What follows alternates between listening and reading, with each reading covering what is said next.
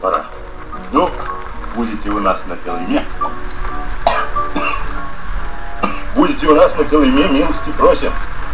Нет, лучше вы к нам. Счастливо.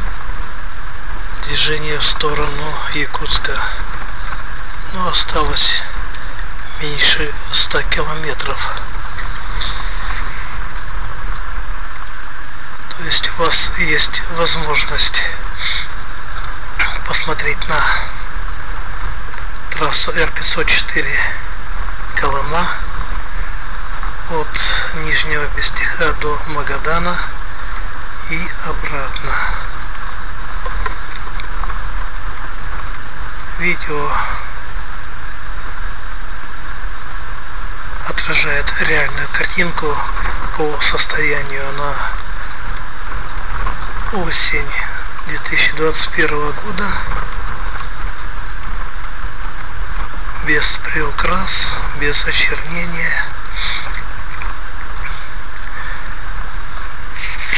Все есть свои проблемы, которые, я думаю, в недалеком будущем будут решены. Вот так, например, черный прижим и заячья петля видео, о которых достаточно много в интернете, они уходят в историю. Руководством Дальнего Востока принимаются необходимые меры. Но вы можете сами, посмотрев видео, сделать такие выводы, что те ужасы, те страсти, которые были буквально несколько лет тому назад, их уже практически нет. Я двигался, правда, в летнее время, лето-осень, как зимой на этих участках сказать не берусь. Но в летнее время, когда нет снега, двигаться можно без особой тревоги. Есть определенные проблемы. Это с дорожным покрытием. Я имею в виду полотно дороги. Этот скальник – это э, беда на трассе. Многие режут резину. Вы сами можете убедиться, вот проезжают автомобили, которые обгоняют или навстречу идут. На крыше, на багажнике лежат запасные колеса. Это одна из проблем. Но я думаю, она согласно вот этим счетам информационным от Росавтодора, ну, где-то в течение до 2006 года должны будут решить. Вторая проблема – это инфраструктура. Заправочные станции, мотели, магазины, то, что могут понадобиться. Они только в крупных населенных пунктах.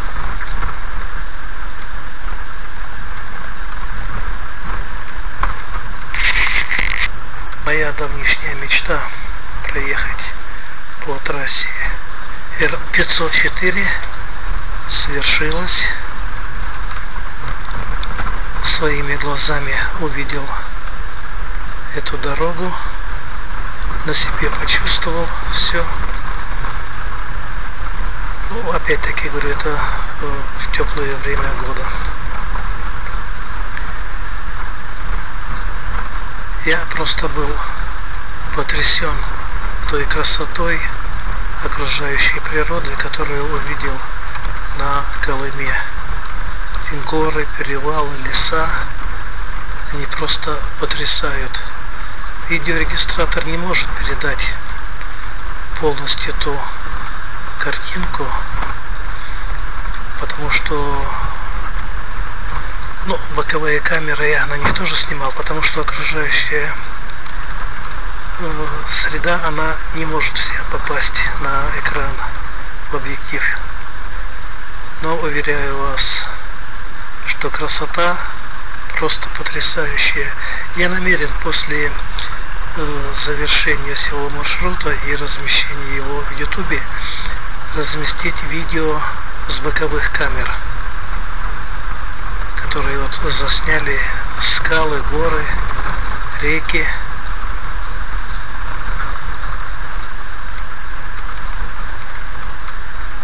Но по сравнению с природой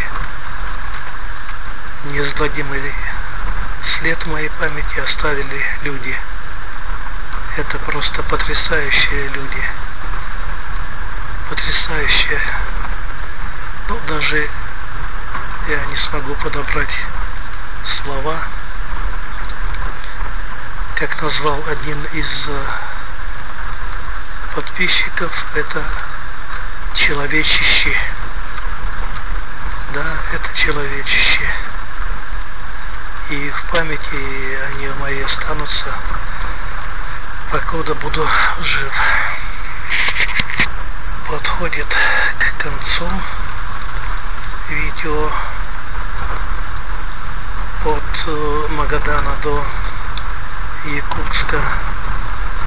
Но маршрут продолжается далее от Якутска. Ну, вернее, в Нижнем Бестихе я остановлюсь на привал на ночевку на другой день на пароме переберусь на противоположный берег, проеду по Якутску.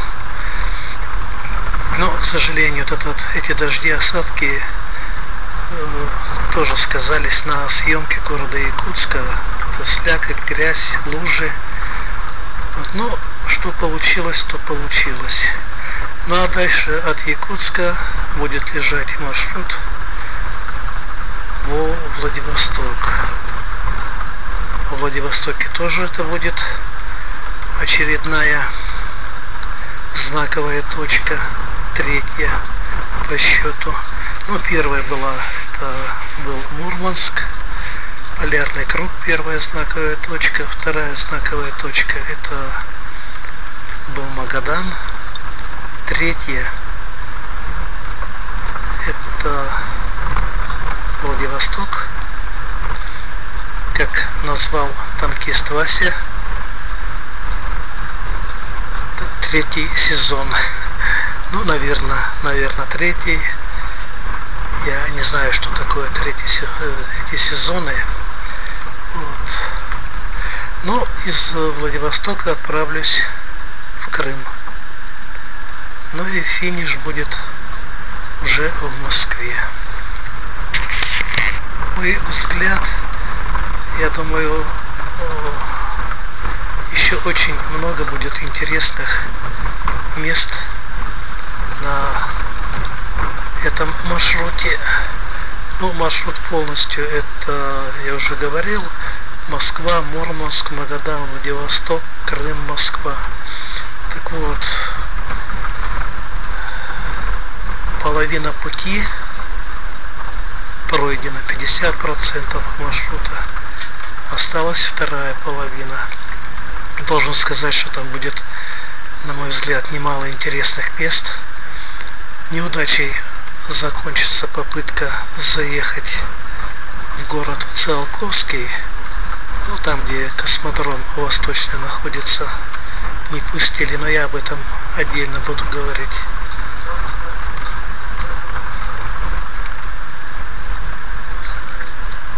Интересное место будет во Владивостоке. На обратном пути заеду в Благовещенск. Посмотрите кто будет смотреть видео, посмотрите на Китай со стороны России. Ну и на мой взгляд еще много интересного будет. Так что продолжайте смотреть, пишите комментарии, рекомендации, какие-то вопросы задавайте, по возможности буду отвечать.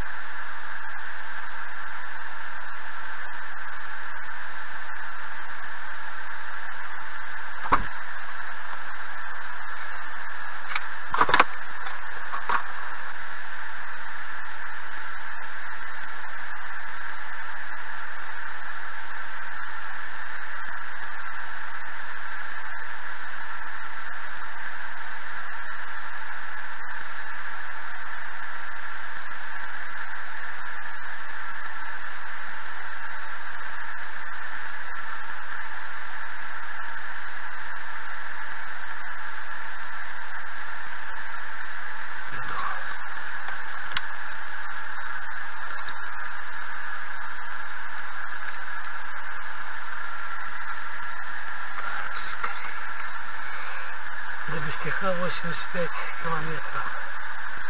Ни много ни мало.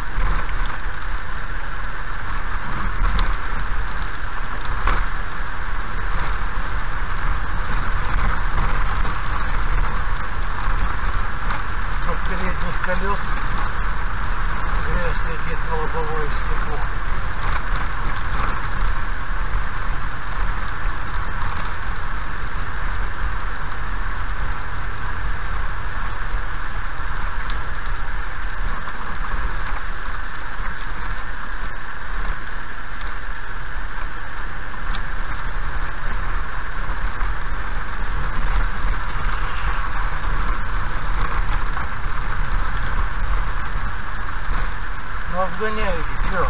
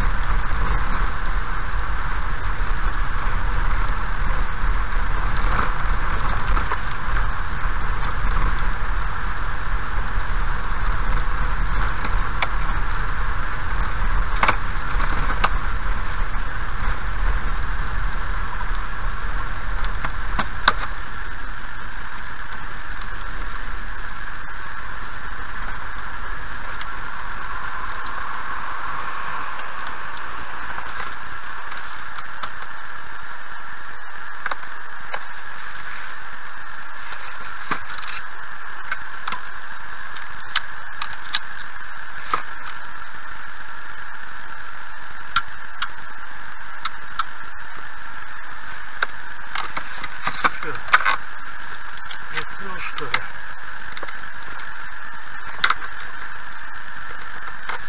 Режим записи.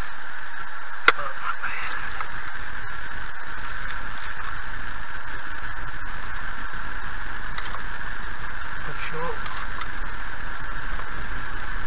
Может он так там разошелся?